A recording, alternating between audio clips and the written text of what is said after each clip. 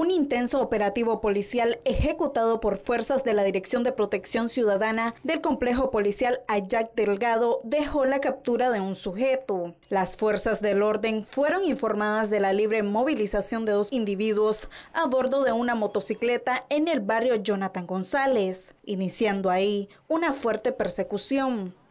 Los ladronzuelos, utilizando un sinnúmero de artimañas, trataban de engañar a los agentes ocultándose en viviendas y escurriéndose en algunos callejones, pero de nada le sirvió a uno de ellos, ya que fue apresado por los oficiales. Al momento de su captura fue requisado, encontrándosele una buena cantidad de dinero tanto en dólares como en córdobas, dos pistolas, dos teléfonos, una cartera y objetos que aparentemente no le pertenecían.